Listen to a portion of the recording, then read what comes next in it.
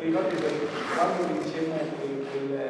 quella, quell'aggiudicazione il 2010 settembre che Tirocco era in Australia con un giovane ragazzo che si chiama Nardella ci diede la notizia di Firenze. Poi noi iniziamo a Firenze a immaginare dire, il percorso di Nibali, il percorso di Nibali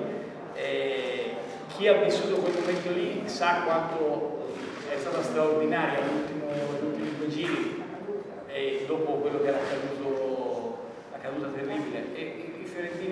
al solito hanno vinto di Costa è stato campione